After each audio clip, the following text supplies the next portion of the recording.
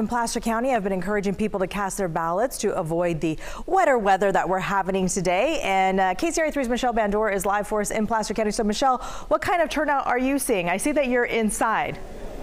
Yes, we're staying inside where it's nice and dry. We're at the fairgrounds where there are actually two precincts inside the fairgrounds, inside this nice and dry building. And of course, right when we go in the air, there's no one voting. But I promise you, there has been a steady stream of voters since we arrived here a couple of hours ago. We've got voting um, booths on both sides here. We've got one over here. We've got voting booths over here. So the folks here, we can see a couple people walking in right now here. And also from where we've been, we've been able to, you know, see outside and, and have peeked our heads out the door a couple times, and we've seen everything from rain to hail to sunshine. But again, those voters are still coming in here. We've got that steady stream. I promise you that they were.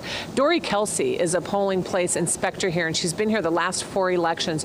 Dori, what do you think? How's the turnout been? What were you telling me about earlier today? Well, we're really happy because this is about twice what it was for the for the primary. We had 53 people the entire day on on the primary, and we're at almost 90 right now, and we still have several hours to go.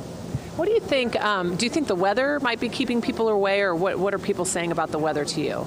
Well, we were worried about the rain because one of our friend, one of our members' ha- husband looked it up, and it said that uh, for every inch of rain, one percent pe- of people stayed away.